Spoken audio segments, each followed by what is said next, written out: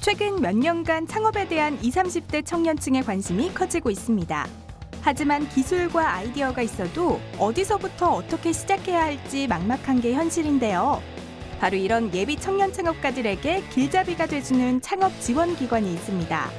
청년 창업의 꿈을 실현시켜줄 든든한 지원군 서울시 청년창업센터를 찾아갑니다.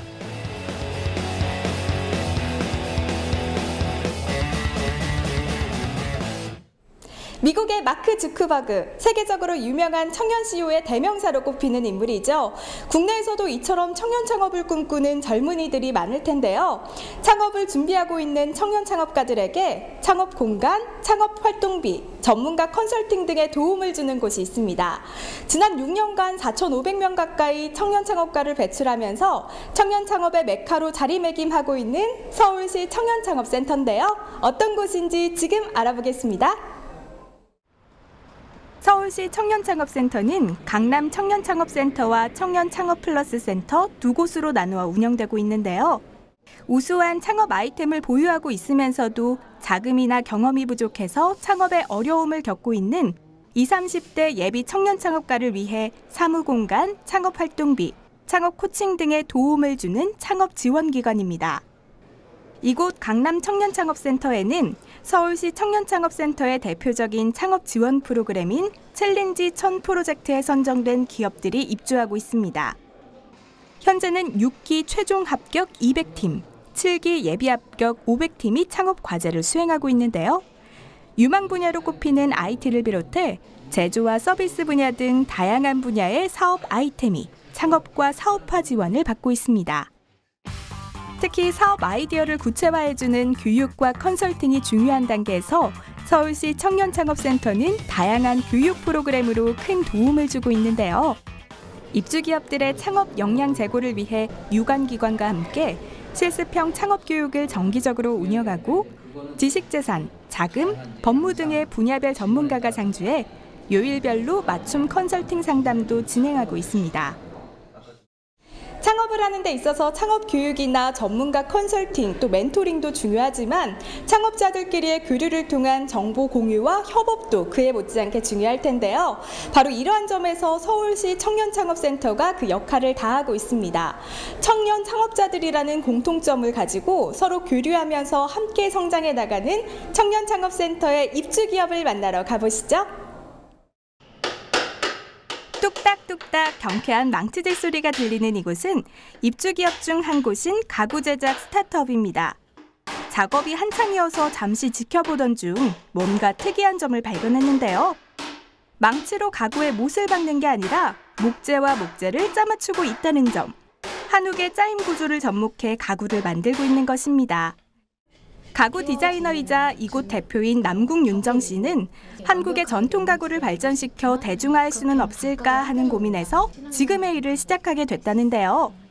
많은 고민과 연구 끝에 전통적인 한국 가구의 짜임을 컴퓨터로 설계하고 이를 CNC 공작 기계로 제작하는 지금의 방식을 개발하게 된 것입니다. 그녀의 가구는 해외에서 먼저 주목받기 시작했는데요. 이후 본격적인 사업화를 목표로 서울시 청년창업센터의 챌린지 천 프로젝트에 도전해 입주 기업으로 선정되었고 지금은 챌린지 천 프로젝트의 첫 단계인 창업 성장 과정에 있다고 하는데요. 어떤 지원을 받고 있을까요? 제가 도움받은 부분은 한 세 가지 정도가 생각이 나는데요. 자금 그리고 교류할 수 있는 부분, 교육 부분이 있습니다. 어, 자금 쪽으로는 어, 사무실을 지원해 주시는 것과 그다음 창업 지원 자금 그리고 저희끼리 IR Demo Day를 통해서 어, 프리젠테이션 대회를 하고 지원금을 받을 수 있는 부분이 있고요.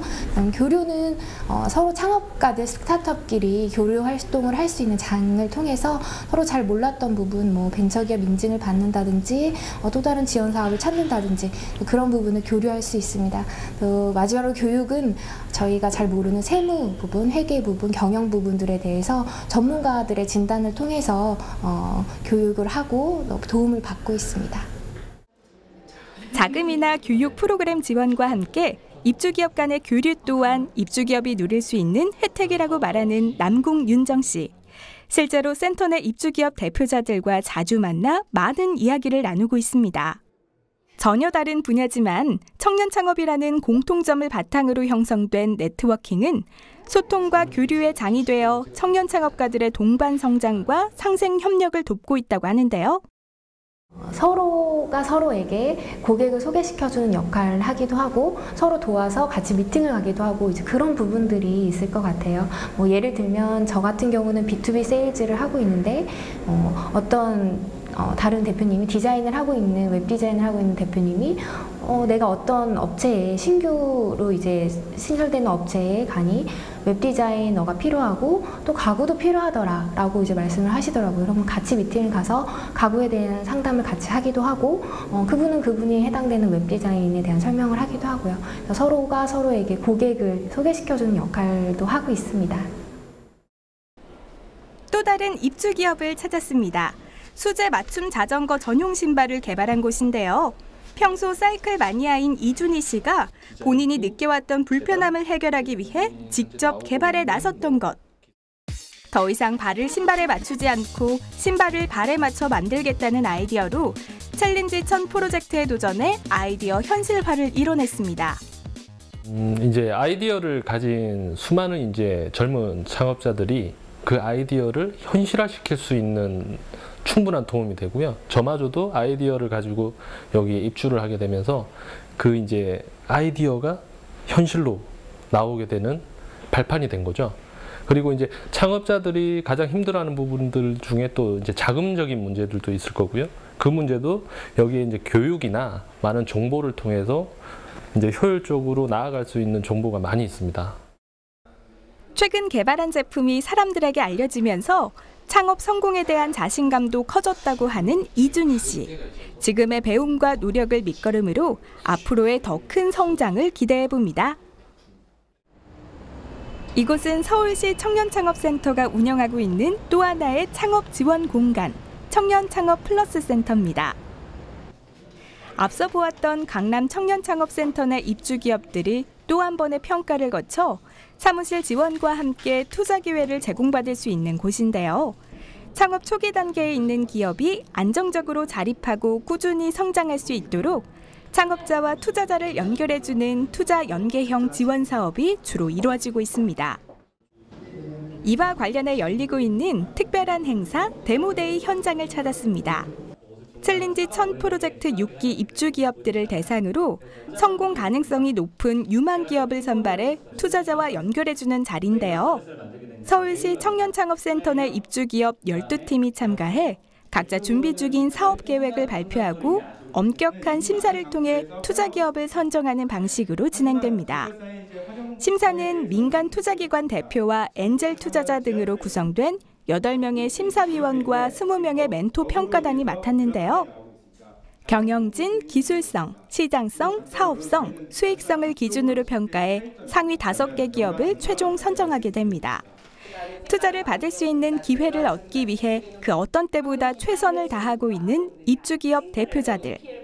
성공 창업을 꿈꾸는 이들에게 지금 이 시간은 또 다른 배움의 장이 되고 있습니다.